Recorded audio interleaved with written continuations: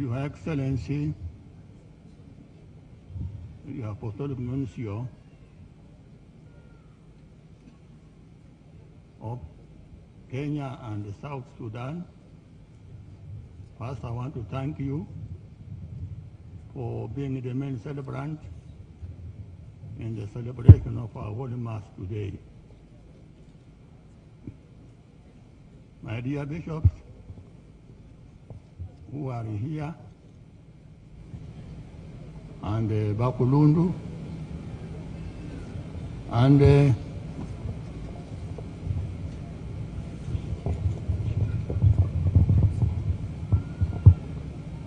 and uh, my friend, the Prime Minister. Is that the title these days? and uh, the governor, Barasa, we thank you for allowing us to use this holy ground.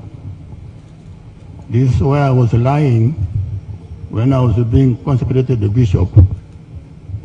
And again, when my successor uh, also came, we all also were in this ground. So asante sana for allowing us use this holy place for this celebration. And all the MPs and the members of parliament and uh, the women's rep and uh, aba mama mirembe bosi vasakhulu mirembe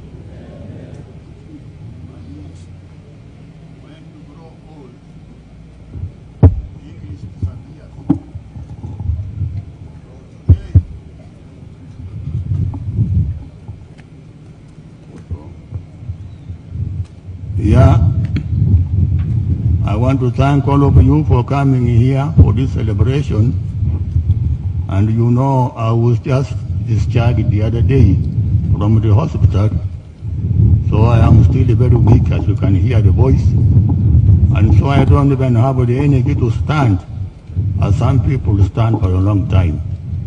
So I just say, want to say, Asante Sana for coming here to join me in this celebration to thank Almighty God for His blessings that He has bestowed not only on, on me, but through me to our people that I served.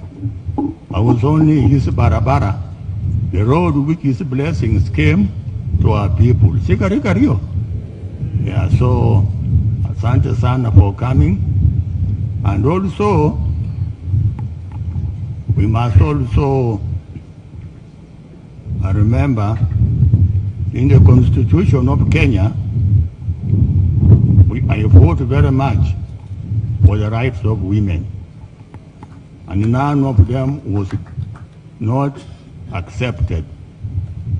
So all of us who have been talking here are right, but the left leg has been not been here. Can I make a mistake that I will uh, suffer for myself by inviting Martha Karua.